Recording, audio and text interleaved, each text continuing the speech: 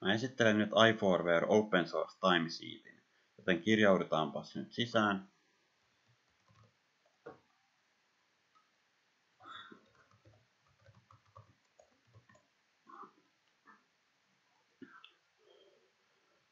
No niin, tässä ensimmäisessä näkymässä näkyy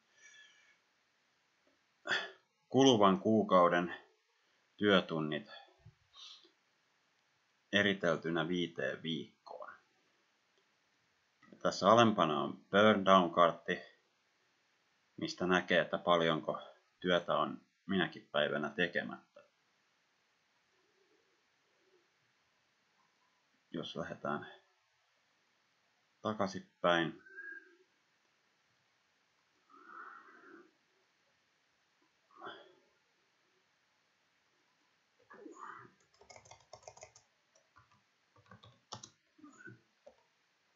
Noin. Sitten tänne lisätään taskeja.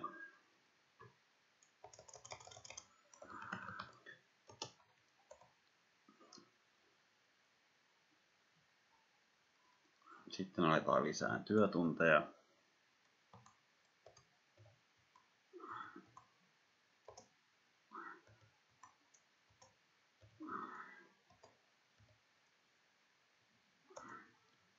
Noin.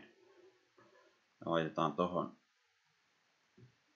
40. Noin.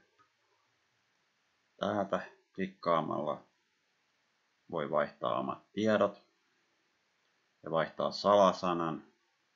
Ja tästä voi generoida turvallisen tai tietoturvallisen siis salasanan ja laittaa sen tonne ja sitten vaan laitetaan vanha salasana tohon ja painetaan change. Sitten katsotaan, mennään vaikka tohon. Ja sitten katsotaan tämä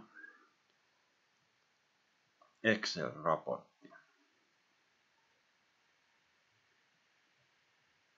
Niin tässä näkyy nyt Excel-raportti työtunneista.